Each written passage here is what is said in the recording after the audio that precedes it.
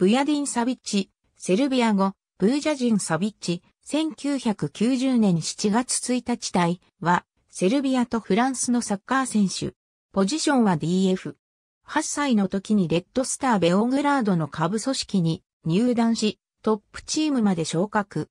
トップチーム昇格の2007年から2009年までは FK ラドベオグラードに期限付き移籍し、その後レッドスターベオグラードのトップチームで出場した。2010年に FC ジロンダンボルドーに移籍。2012年1月に期限付き移籍で 1FC ディナモドレスデンに加入。2014年にはアルミニア・ビーレフェルトに期限付き移籍。2015年1月23日にシーズン末までの契約でフットボールリーグチャンピオンシップのワトフォード FC に加入。エスカシ、プレミアリーグ昇格とともに出場できないまま放出された。同年夏に FC シェリフティラスポリに加入。2シーズンで40試合4得点の結果を残した。2015年9月19日にはオーバーヘッドで得点を決めた。2017年6月に2年契約でレッドスターベオグラードに復帰。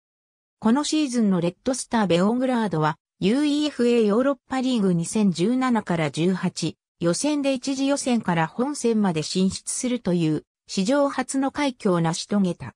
またこの本戦出場はレッドスターベオグラードにとっては26年ぶりとなる国際大会の舞台にもなった。ブラダン・ミロイエビッチ監督は彼を比較的守備的なパートナーであるスルジャン・バビッチやダミアン・ルタレクと組ませた。この中盤で UEFA ヨーロッパリーグ2017から18グループリーグでは2失点に抑え、グループリーグ出場クラブの中ではレッドブル・ザルツブルクに次ぐ選手を誇った。2018年5月にセルビアスーペルリーガベスト11に選出された。2019年7月14日、オポエルニコシアに移籍した。2018年3月にセルビア A 代表のモロッコ代表、ナイジェリア代表との親善試合のメンバーに選出された。しかし怪我のため出場はならなかった。父親のドゥシャン・サビッチもサッカー選手。結婚はしていないが、女優のミルカ・バシリエビッチとの間に3人の子供がいる。